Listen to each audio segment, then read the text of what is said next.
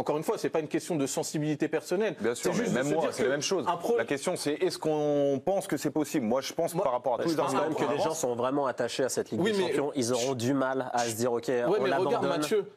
On disait la même chose de la part des joueurs. Combien sont partis en Arabie Saoudite pour des, pour des salaires bien supérieurs Alors qu'en termes de prestige, c'est absolument incomparable. Oui, mais là, tu parles du haut du panier. C'est pas tous les, les- tous les joueurs qui Bah, sont partis en Arabie Saoudite. Là, oui, mais- là, on touche à, entre guillemets, à tout, C'est tout, l'Europe. Non, non, mais attendez, là on parle, on, parle, on parle de l'élite du football. Donc là, l'élite Ouais, du football va, être con- va, va être, va être directement concernée. La Champions League, je trouve que c'est pas que l'élite. Au début, au début, mais au début, ça l'est pas. attends, sur, la- les- sur la phase de poule, Les clubs grecs, ils sont pas. en train de faire 17 matchs pour arriver en Champions League. Arrête. euh, D'accord, mais t'as as quand même des petits poussés qui sont là euh, et qui ont toujours l'espoir. Là, Mais jamais de la vie. sur, sur, sur leur, sur leur, euh, leur ligue, là, c'est impossible. Mais les clubs, les mais alors, 16 mais franchement, à part le top 5, le top 5 européen, les clubs slovènes, les clubs turcs, les clubs, tous les clubs comme ça, là, tu trouves qu'ils ont, c'est légitime là, la Ligue des Champions par rapport à eux? Mais au moins, Ils font mais- 14 matchs de, pré- de qualification. Mais d'accord, mais au moins, quand tu as un Molde qui est là et qui, qui fait sa Champions League, Après ils 8 sont matchs, comptés. après 8 victoires. Mais, mais même, mais alors, euh, ils, Mais ils c'est ont la au même mérite, chose mais ils sont contents. Mais là, là, ça sera pas le cas. Mais si. jamais de la vie. ils Bah seront- si. Mais jamais de la Mais- vie. Ils vont, ah, par chance, ils vont commencer dans le dans le blue, euh, dans le dans le blue, dans la blue league. Mais derrière, il n'y en a que deux. Derrière, il faut qu'ils montent. Et derrière, il y en a que deux. Il Eh faut bah, jamais, bah jamais de la bah vie. euh, a- ils toucheront de près moi, je, re- je rejoins pas mal d'avis là-dessus. Moi, je pense que ça va se faire quand, je sais pas. Mais ce qui est sûr, c'est que tu as raison de la- l'adhésion des fans. Mais euh, l'adhésion des fans, moi, dans, dans ton je sais pas si c'était dans, l'ordre de, priorité, mais moi, les clubs, il faut, que- les clubs adhèrent. Mais les clubs, pour qu'ils adhèrent, la, la- la seule chose à chaque fois pour qu'ils adhèrent, c'est l'oseille. Et je pense que là, euh, quand je vois ce que Jules nous a, nous a montré, pour moi, il se calque sur les ligues américaines. Je, je serais moins formel là-dessus. J'ai bien, compris, mais moi je pense que les clubs là, enfin que ce que veulent faire ces gens-là avec euh, la- cette ligue-là, c'est se calquer sur les sur les modèles américains là- qui brassent des milliards. C'est vrai. Qui brassent des milliards et, et les fans, je te rejoins sur le côté. là, on y est attaché avec des champions, on a grandi avec. Euh, j'ai même célébré moi sur le vieux port une victoire de Ligue des Champions. Mais il n'empêche qu'aujourd'hui, il n'empêche qu'aujourd'hui, les clubs, tu leur ramènes, ils veulent gagner beaucoup plus d'argent. Et que cette, cette, ce- cette ligue-là, elle va, je pense qu'elle va voir le jour parce que sur les modèles économiques américains. Oui, mais malgré tout, il faut quand même se dire que s'il y a un marché, il y a un marché parce qu'il y a des clients. Désolé, j'emploie un vocabulaire vas-y, mais- très très euh, de l'entreprise, marché, libéral, etc. Mais on en est là. Donc si tu n'arrives pas à convaincre ton- te- te- tes clients de te suivre, en fait, ton Ils vont, projet ils vont- de ils vont base- faire, ils vont faire quoi les fans? Ils vont Bah, plus aller voir les matchs? bah, Je sais pas. Peut-être que certains ne voudront plus aller voir les matchs. Peut-être En que Angleterre, ils certains- se sont mobilisés déjà. Voilà, il y a- Mais c'est et- bien vu. Ils se sont mobilisés, Mathieu, mais c'était pas qui- du tout oui, la même Oui, structure. mais ça a fait, ça a fait bouger les lignes. Bien sûr. Tu vois ce que je veux dire? Ça a fait- Il y a eu des volte-face Bien sûr. de par la position des, des- des fans et ça a été plutôt salué Ouais, d'ailleurs. et- et ça revient- Messieurs, revient un an et demi messieurs, après messieurs, et ça divise avancent. aussi dans la presse. Je me suis réveillée ce matin, j'ai fait le tour de la presse internationale. La majorité des médias espagnols sont du côté du Real et du Barça, sans surprise.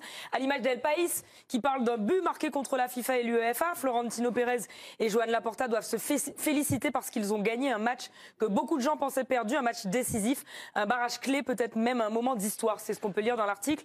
Du calme quand même, calma pour la Gazzetto dello Sport en Italie, qui précise que le non reste majoritaire et uni, un mur de non.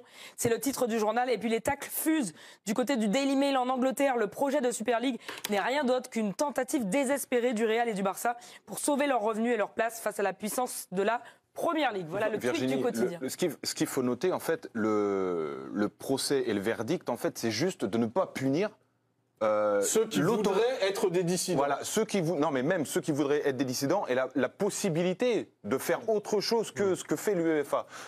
C'est jamais arrivé, ça peut révolutionner le foot. Et croyez bien que dans les bureaux de l'UEFA, je pense que c'est en train de s- trembler sévère parce que les choses se mettent en marche. Et ne plus avoir le monopole pour l'UEFA qui brasse eux des milliards et des milliards aussi. Et bon, on va être. euh, j'ai- J'ai l'impression qu'en fait, ils veulent donner des leçons à des gens euh, par rapport à ce que eux-mêmes font. Donc à un moment donné, je veux bien, mais moi, voir ce coup l'UEFA, honnêtement, j'aime bien. T'as raison. C'est terminé.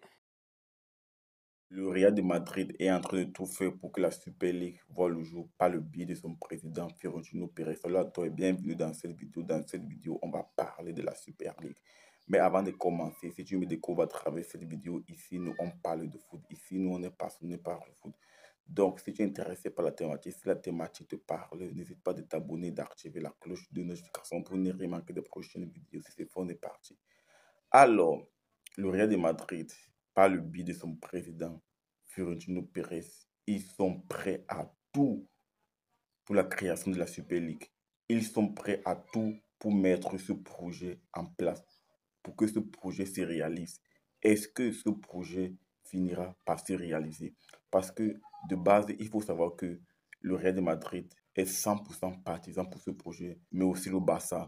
Le Barça, on sait que le Barça n'a pas d'argent. Donc, si ce projet a lieu, ça va permettre au Barça d'avoir un peu de sous pour pouvoir acheter des joueurs, se relancer, avoir un peu d'économie. Du coup, donc, le Real de Madrid et le Barça sont vraiment à fond sur ce projet. Est-ce que ce projet finira par voir le jour? Moi, je pense que les amis, moi, je pense que la clé de ce projet, ce sont les clubs anglais. Si les clubs anglais décident d'adhérer ce projet de manière officielle, Séphirine fera tout son possible, mais à mon avis, il n'y arrivera pas. Ils ne vont pas parvenir parce que la Premier League est un championnat très puissant. La Premier League a vraiment des équipes très puissantes économiquement. Vous pensez que si Chelsea, Manchester City, Liverpool, Arsenal décident d'adhérer à ce projet, même si l'UEFA fait l'impossible, ce projet verra le jour. Maintenant, donc, est-ce que la Premier League va accepter que ces équipes à ce projet Parce que même la Premier League sera perdant. Hein. Même la Premier League sera perdant si ces clubs adhèrent à ce projet.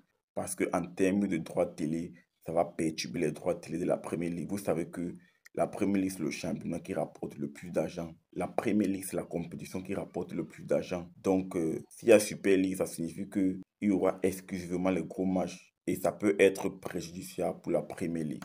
Mais pour l'instant, il y a seulement deux clubs qui se sont prononcés de manière officielle à ce projet, le Real et le Barça. Et le Real, c'est le chef d'orchestre. Le Real pousse à fond pour que ce projet voit le jour. Le Barça, on sait que le Barça n'a pas d'argent. Donc, le Barça veut absolument que ce projet voit le jour pour pouvoir avoir un peu d'argent, afin de pouvoir acheter les bons jeux, relancer l'économie, etc. Il y a tellement d'hypocrisie dans ce projet. La plupart de ces clubs-là, Manchester United, Manchester City, Liverpool, ils veulent ce projet, ils veulent que ce projet voit le jour.